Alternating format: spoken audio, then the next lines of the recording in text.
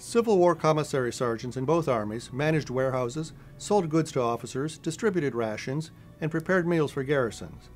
They did not serve meals during battles, with one noteworthy exception.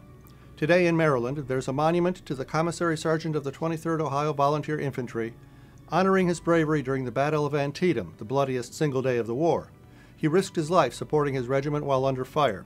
Confederate artillery hit one of his wagons, but he got the other across a bridge and up a steep hill the regiment had just captured. While they rested, he brought them hot food and coffee. The regiment's colonel was Rutherford B. Hayes, who became President of the United States in 1877. That makes the 23rd Ohio the only Civil War regiment with two future presidents in its ranks, because the commissary sergeant became president in 1897.